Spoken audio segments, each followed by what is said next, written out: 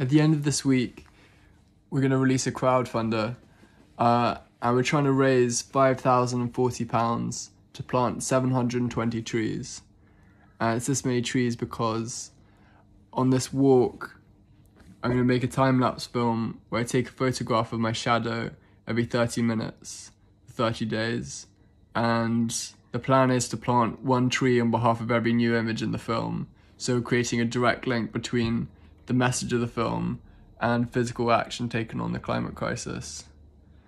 Um, all the donations will go towards the Climate Force Rewilding Project and the supporting of the growing of this number of trees and planting them and making sure they're looked after once they've been planted. And in exchange for money, I'm offering a variety of services. So if you know anyone who'd be interested in this project or could benefit from what I'm offering, then please do pass this on. And yeah, I'm excited to share this with you.